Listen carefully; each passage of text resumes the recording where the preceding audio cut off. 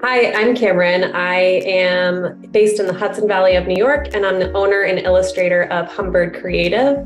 I am a surface pattern designer focused on mostly minimal designs and home decor and art licensing. Before working with Liz, um, I felt really overwhelmed in my creative business. I felt like I had so many different paths I could go down, and I, I just couldn't stick with one thing.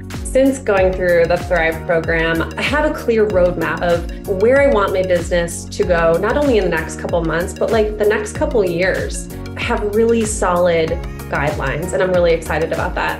I feel like I got so much out of Thrive, and there were also just some really cool, tangible wins that happened throughout the three months. One of the biggest wins was having my biggest wallpaper sale. It felt like unexpected, and also looking back, it was like I was implementing small things from Thrive that made that happen. So that was really cool. And I've also just like continued to gain traction in my Etsy shop and continuing to grow it now in the coming months.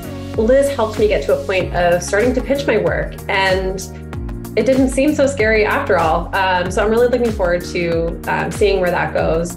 If you're considering working with Liz in Thrive, I would say I mean, do it. That's what I would say. And I say that because she is so, she's one of a kind in the coaching space. I've never come across anyone like her. She is so smart, so grounded. She is an incredible listener. And the way that she guides you through any challenges all along the way, she really like digs into your business and shows up for you. It's not nothing generic happens in Thrive. It's all so personal and she's also just such a fun person to talk with. um, do it. that's my advice. If you're on the fence, do it.